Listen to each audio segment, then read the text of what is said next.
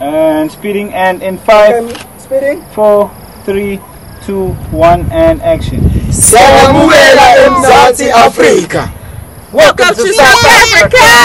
Dodo. One more. One more, hold on. Siyamukela eMzansi Afrika. Welcome to South Africa! Dodo. Dodo! No, it was all said with them.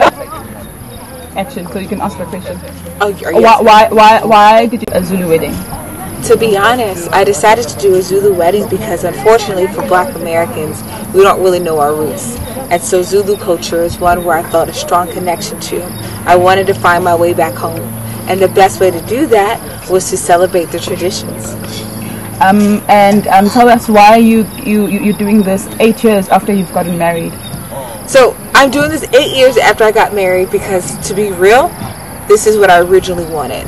This mm. is my dream wedding. Mm. I think oftentimes we do things for everyone else, and not to say my first wedding wasn't beautiful, mm-hmm. but for me and my husband, we're super Afrocentric, and coming to Africa and celebrating our love is what we really were destined to do. Um, what experience would you would you take out of this whole Zulu experience?